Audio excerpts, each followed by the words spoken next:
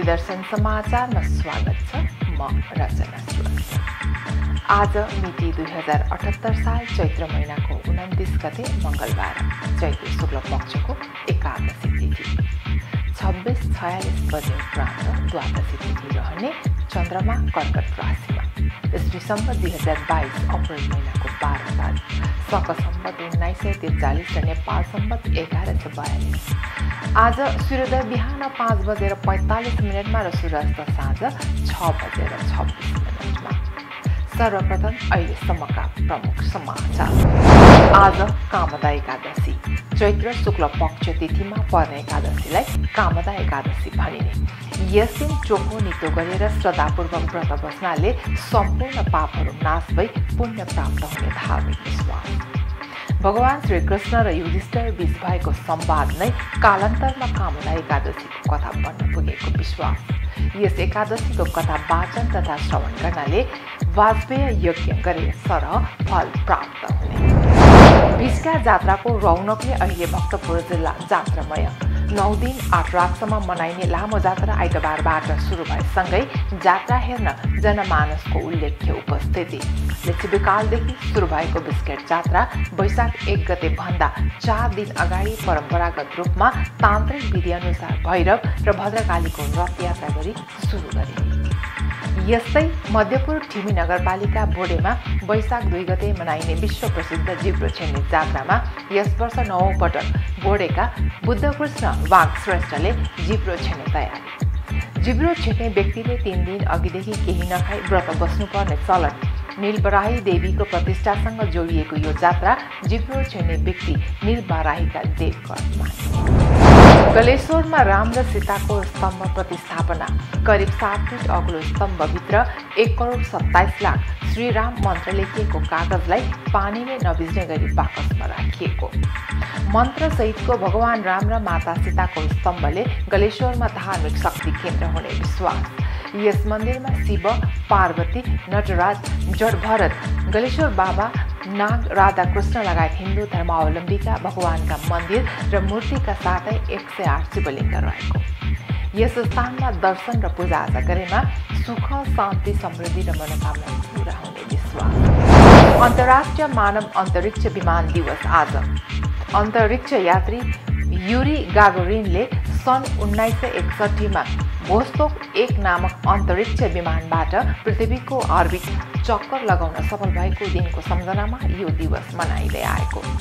संयुक्त राष्ट्र सङ्घको महासभाले पैँसठौँ संस्करले प्रत्येक वर्ष अप्रेल बाह्रलाई अन्तर्राष्ट्रिय मानव अन्तरिक्ष विमान दिवसका रूपमा मनाउने निर्णय सदर गरेसँगै विश्वभर यो दिवस मनाउन थालिएको डडेलधुराका विभिन्न ठाउँमा उखु खेती गरिँदै आए पनि व्यावसायिक उत्पादन पनि हुन सकेन। किसानले उखु पेलेर परम्परागत रूपमा नै गुड अर्थात् सक्खर उत्पादन गर्दै व्यावसायिक रूपमा उखु खेती नहुँदा भारतबाट वर्षेनी ठुलो परिमाणमा गुड आयात उखु पेल्ने विद्युतीय मेसिन पाएसँगै किसानहरू उखु खेतीतर्फ आकर्षित। जिल्लामा उखुबाट उत्पादन हुने गुण प्रति किलो दुई सयदेखि दुई सय पचाससम्म सजिलै बिक्री हुने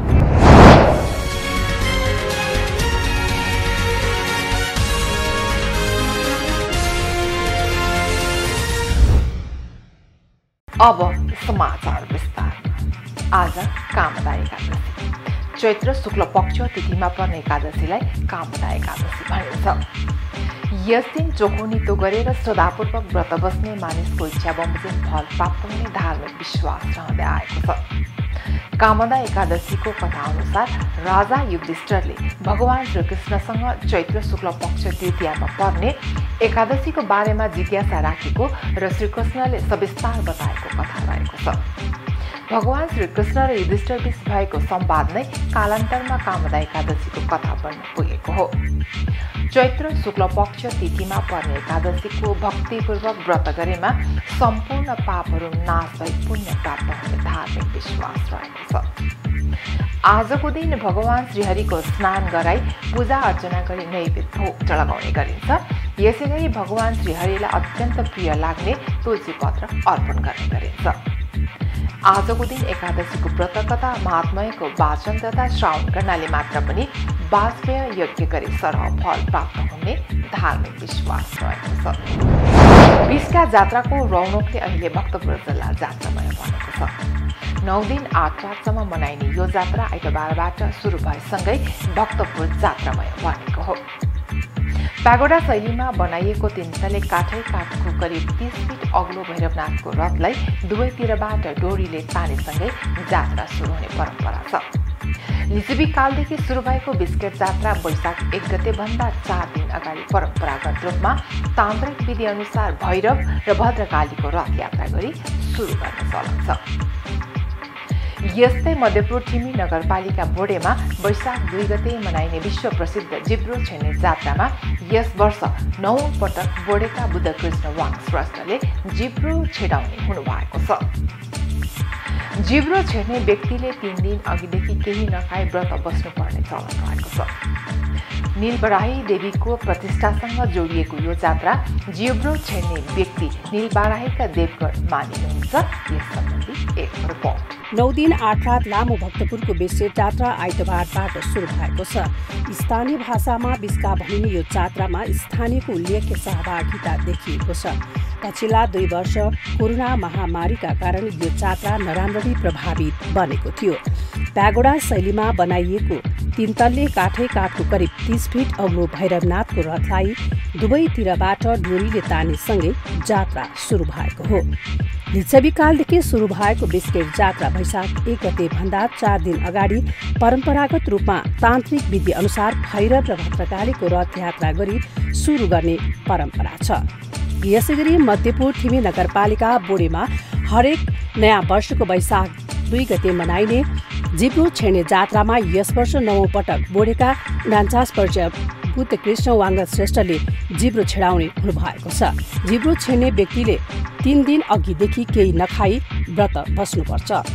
व्रत बसेदेखि जिब्रो नछेडेसम्म सुत्न समेत नहुने र जिब्रो छेड्दा पीडा नहोस् भनेर सात दिन अघिदेखि नै नुन समेत खान नहुने उहाँको भनाइ छ। व्रत बस्नेले जिब्रो छेड्नु अघि शक्ति प्राप्त होस् भन्ने कामना सहित बोडी क्षेत्रका विभिन्न देवी देवताको पूजा आजा गर्ने र जिब्रो छेड्ने पाँचौँ गणेशको पार्टीमा पुगेपछि जात्राका नकर्मी नाइकेले एक महिना अगाडिदेखि तयार पारेर तेलमा डुबाएर राखिएको फलामको दस इन्चको लामो सुइरो जिब्रोमा छेडेर महादीप बोकेर एक घण्टा नगर परिक्रमा गरी भोडीको महालक्ष्मी मन्दिरमा पुगेर सिरो झिकेपछि जात्राको समापन हुने प्रचलन छ। निरन्तर जिब्रो छेड्नु भएका श्रेष्ठले बोडेको नेलबाराही मन्दिरसँग जोडिएको कथा र किम्बदन्तीलाई पछिल्लो समय बिगारेर प्रचार गरेकोमा दुखेसो व्यक्त गर्नु भएको छ। उहाँ भन्नुहुन्छ यो जात्रा निलबाराई देवीको प्रतिष्ठासँग जोडिएको छ।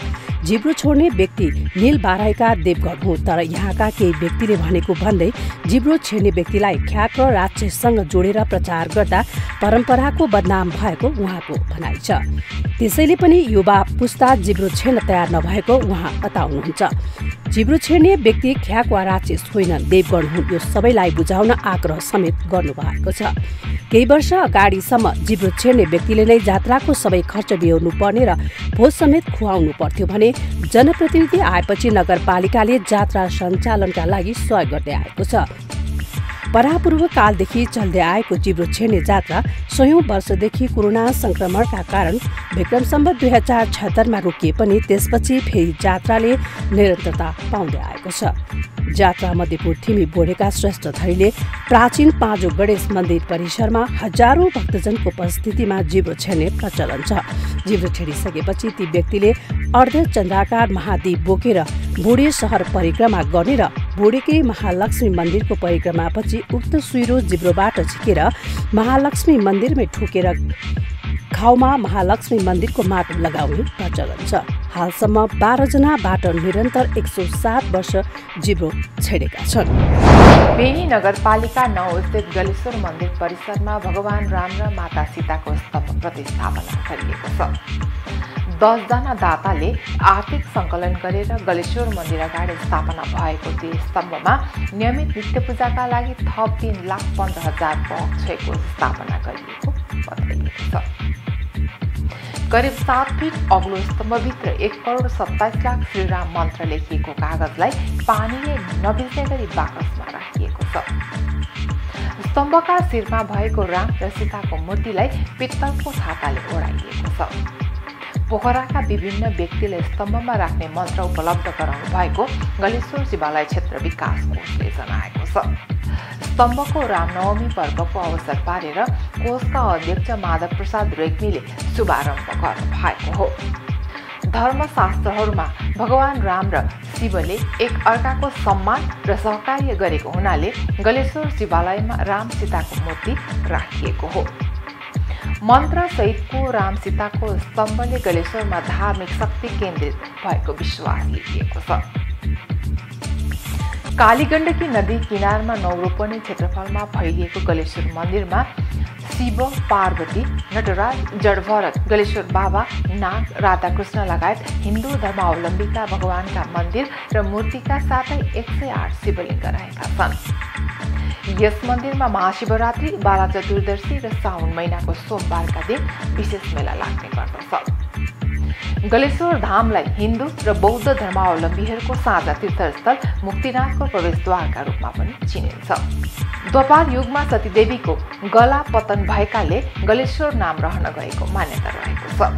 यस स्थानमा दर्शन र पूजाआजा गरेमा सुख शान्ति समृद्धि र मनोकामना पुरा हुने विश्वास छ। पूर्वाधार निर्माण व्यवस्थापकीय सुधार र प्रचार प्रसारका कारण गलेश्वरमा पछिल्लो समय भक्तजनको सङ्ख्या बढेको बताइन्छ। अन्तर्राष्ट्रिय मानव अन्तरिक्ष विमान दिवस आज नेपालमा पनि विभिन्न कार्यक्रम गरी यो दिवस मनाइन्छ। अन्तरिक्ष यात्री युरी गागरिनले सन् उन्नाइस सय एकसाठीमा भोत्सोक एक नामक अन्तरिक्ष विमानबाट पृथ्वीको अर्बिट चक्कर लगाउन सफल भएको दिनको सम्झनामा अप्रेल बाह्रमा यो दिवस मनाइँदै आएको हो। युरी गागोरिन अन्तरिक्ष विमानबाट पृथ्वीको अर्बिटमा चक्कर लगाउने पहिलो महिला समेत हुन्। सन् दुई हजार एघारको अप्रेल सातको संयुक्त राष्ट्र सङ्घको महासभाले पैँसठौँ संस्करणले प्रत्येक वर्ष अप्रेल बाह्रलाई अन्तर्राष्ट्रिय मानव अन्तरिक्ष विमान दिवसका रूपमा मनाउने निर्णय सदर गरेसँगै विश्वभर यो दिवस मनाउन थालिएको हो यो दिवस नेपालमा पनि सन् दुई हजार आठदेखि विभिन्न कार्यक्रमको आयोजना गर्दै मनाइने गरिएको छ। गैर नाफामूलक संस्था नेपाल एस्ट्रोनोमिकल सोसाइटीले विभिन्न कार्यक्रमको आयोजना गरी यो दिवस मनाउँदै आएको छ। रेलधुराका विभिन्न ठाउँमा उखु खेती गरिँदै आए पनि व्यावसायिक उत्पादन हुन पनि अहिले सकेको छैन। किसानले उखु पेलेर परम्परागत रूपमा नै गुड अर्थात् सक्खर उत्पादन गर्दै आएका छन्। व्यावसायिक रूपमा उखु खेती नहुँदा भारतबाट वर्षेनी ठुलो परिमाणमा गुड आयात हुँदै आएको छ।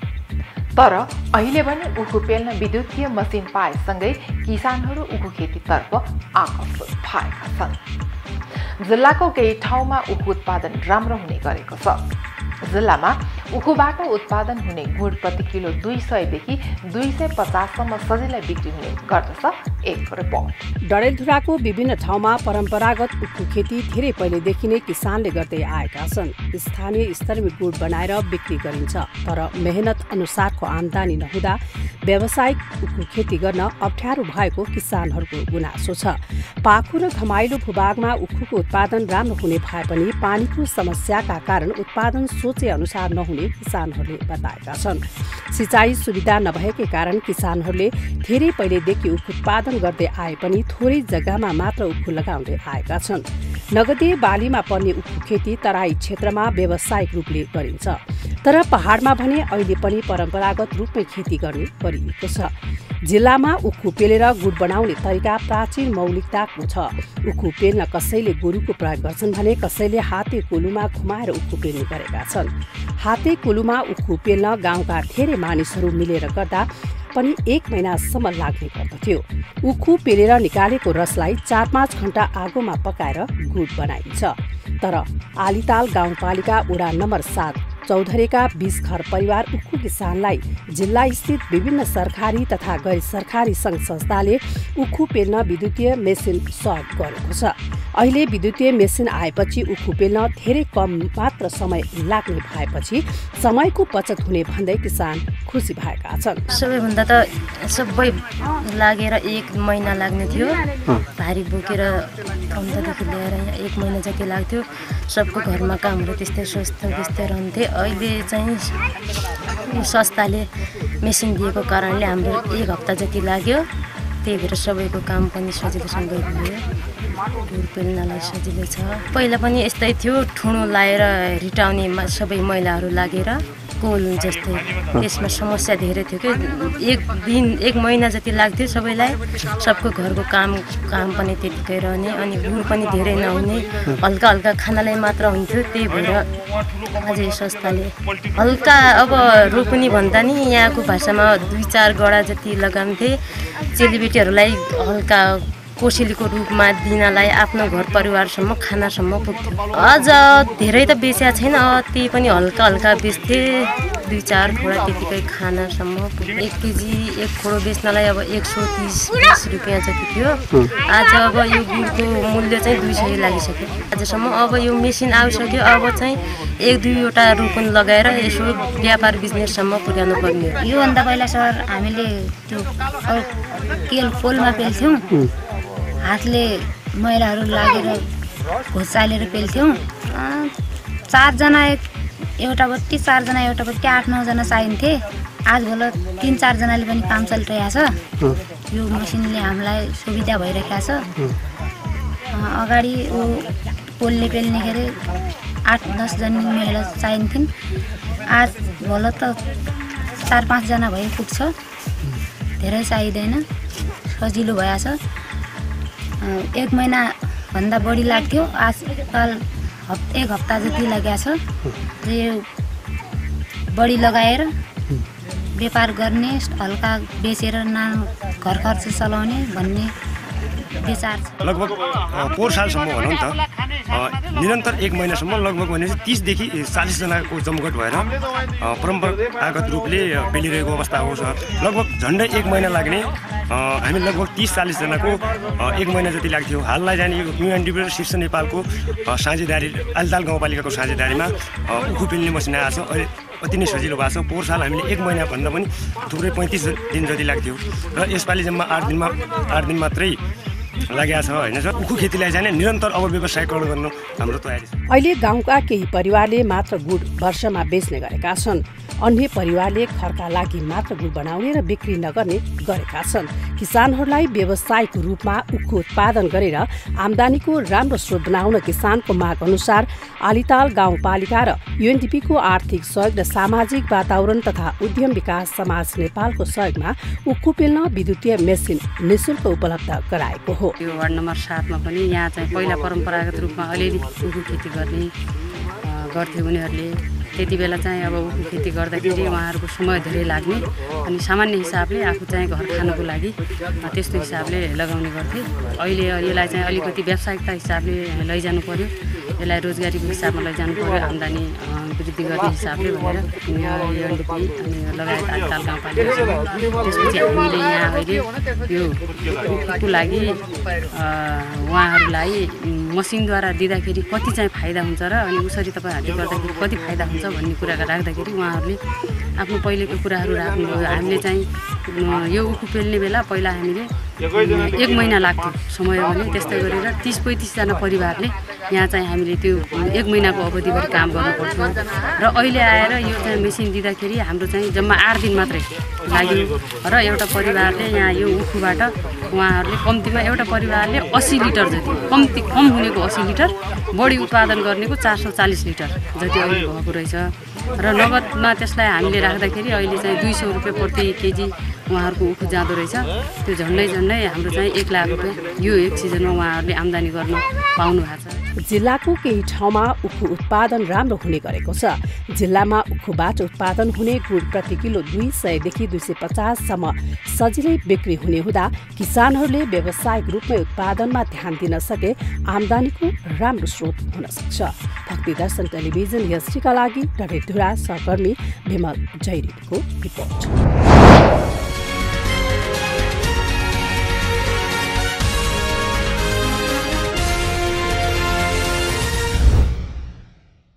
अहिलेलाई हामी भक्ति दर्शन समाचारको अन्त्यमा आइसकेका छौँ। जाँदा जाँदै प्रमुख समाचार पुनः एकपल्ट आज कामदा एकादशी। चैत्र शुक्ल पक्ष तिथिमा पर्ने एकादशीलाई कामदा एकादशी भनिने। यस दिन चोखो नितो गरेर श्रद्धापूर्वक व्रत बस्नाले सम्पूर्ण पापहरू नाश भई पुण्य प्राप्त हुने धार्मिक विश्वास।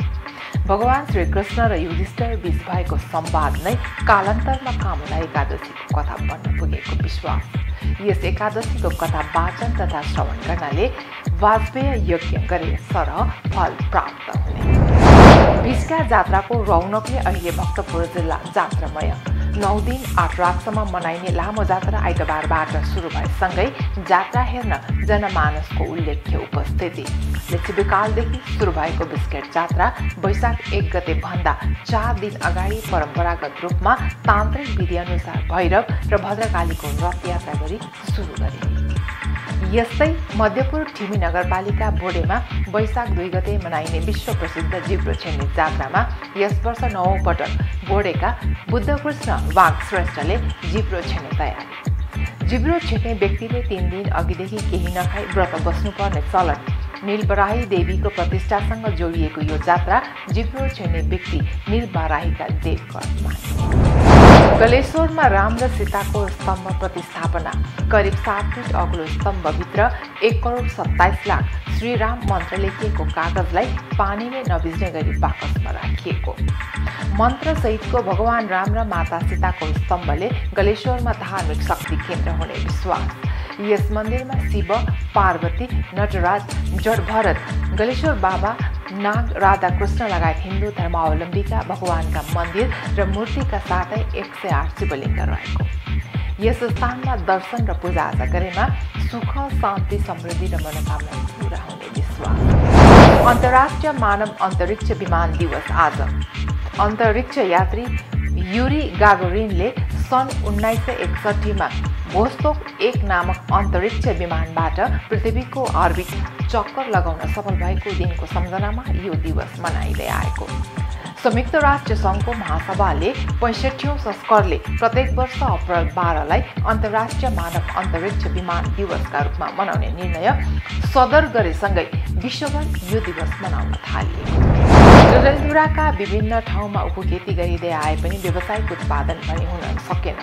किसानले उखु पेलेर परम्परागत रूपमा नै गुड अर्थात् सक्खर उत्पादन गर्दै व्यावसायिक रूपमा उखु खेती नहुँदा भारतबाट वर्षेनी ठुलो परिमाणमा गुड आयात उखु पेल्ने विद्युतीय मेसिन पाएसँगै किसानहरू उखु खेतीतर्फ आकर्षित। जिल्लामा उखुबाट उत्पादन हुने गुण प्रति किलो दुई सयदेखि दुई सय पचाससम्म सजिलै बिक्री हुने गरेको अहिलेलाई भक्ति दर्शन समाचार। नै सामाजिक सञ्जाल मार्फत हामीसँग जोडिनका लागि फेसबुक तथा ट्विटरमा लाइक तथा फलो गर्न सक्नुहुनेछ भने युट्युब मार्फत पनि हामीलाई प्रत्यक्ष हेर्न सक्नुहुनेछ। त्यस्तै कुनै सल्लाह सुझाव तथा प्रतिक्रिया भएमा Bhaktidarshan at the rate E mountain TV dot कममा हामीलाई पत्रचार गर्न सक्नुहुनेछ। धर्म संस्कृति र संस्कारको सम्भाग भक्तिदर्शन टेलिभिजन एचडी हेर्दै रहनुहोला।